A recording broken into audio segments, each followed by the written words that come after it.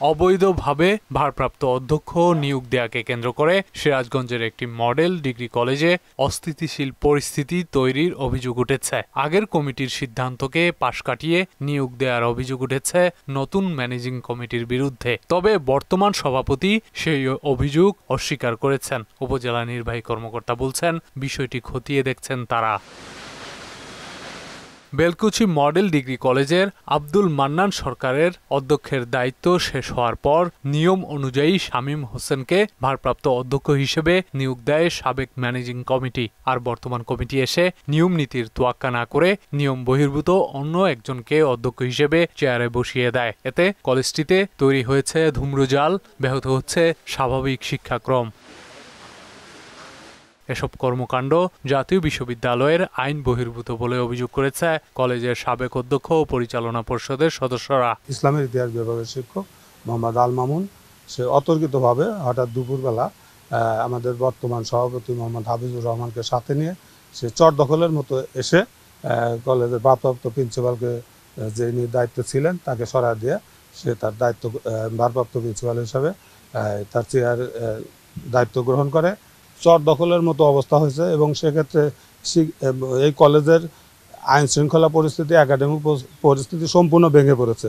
আমি ম্যানেজিং কমিটির একজন জ্যেষ্ঠ সদস্য হিসাবে আমি এ পর্যন্ত ওনার ব্যক্তিগত ফোনে এবং কোনো নোটিশের মাধ্যমে ম্যানেজিং কমিটির সভা ডেকেছে বলে জানা নাই। কিন্তু ইতিমধ্যে আমরা দেখতে পাচ্ছি যে একজন ভারপ্রাপ্ত প্রিন্সিপাল ছিলেন যিনি শামীম হোসেন। ওনাকে বাদ দিয়ে আরেকজন ভারপ্রাপ্ত প্রিন্সিপাল সভাপতি মহোদয় নিজস্ব উদ্যোগে নিয়োগ দিয়েছেন। ভালোভাবে চালাইতে পারবে যোগ্য। এবং আমরা যা- যারা দাতা দাতা পরিবারের সদস্য আছি তাদেরও সহযোগিতা আমরা সবসময়ই করব। সাবেক এবং বর্তমান কমিটিকে দুষছেন এই দুই ভারপ্রাপ্ত অধ্যক্ষ। সম্পূর্ণ বিয়ানীভাবে সভাপতির সাথে করে এবং কতিপয় কিছু মানে নেতা নেত্রীকে সাথে করে নিয়ে এসে সে চর দখলের মতো আমার মানে চেয়ারের থেকে আমাকে উঠা দিয়ে সে আমার চেয়ারটা দখল করছে। অবৈধ সনদধারী সভাপতিকে বাদ দিয়ে যখন নতুন সভাপতি নিযুক্ত হয়, সেই নতুন সভাপতি যথাযথ নিয়ম এবং বিধিভুক্তভাবে মানে জাতীয় বিশ্ববিদ্যালয়ের নিয়মকানুন, সরকারি নিয়মকানুন মেনে দুইটা মিটিং করে এই মিটিংয়ের মাধ্যমে আমাকে এখানে ভারপ্রাপ্ত অধ্যক্ষ হিসাবে দায়িত্ব দিয়েছেন। আসলে চর দখল বা কোনো কিছু, এরকম কোনো কিছু ঘটে নাই। সব নিয়ম মেনে বৈধ উপায়ে ভারপ্রাপ্ত অধ্যক্ষ হিসেবে আল মামুনকে নিয়োগ দেওয়া হয়েছে বলে জানান পরিচালনা পর্ষদের সভাপতি।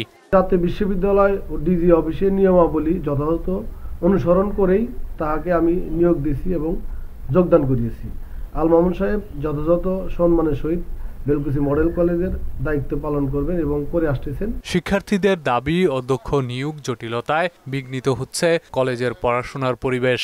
ভালোভাবে যেন আমরা ক্লাস করতে পারি আর বাইরে থেকে এসে গ্যাদারিং হয় এই কলেজে প্রতিনিয়তই গামজাম হয় আর কি। আমাদের কলেজে ভারপ্রাপ্ত প্রিন্সিপাল নিয়ে অনেক দণ্ড চলছে ঠিক আছে? তো আমাদের নিয়মিত ক্লাস হচ্ছে না বহিরাগত মানুষ ঢুকছে আমাদের পড়াশোনায় ক্ষতি হচ্ছে স্যার আমরা ক্লাস নিতে পারছে না আমাদের এক্সাম চলতেছে তো এক্সামে অনেক ঝামেলা হয়। প্রিন্সিপালকে নিয়ে সমস্যা হয়েছে মানে এই সমস্যা বাইরের অনেক লোকজন এসে গ্যাম জ্যাম এরকম হয় যার জন্য আমরা ক্লাস করতে পারতেছি না।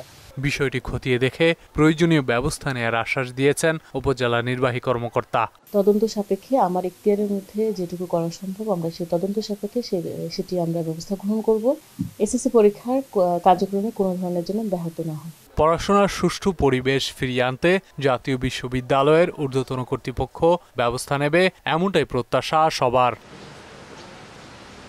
তানজিদ ভুইয়া মোহনা সংবাদ।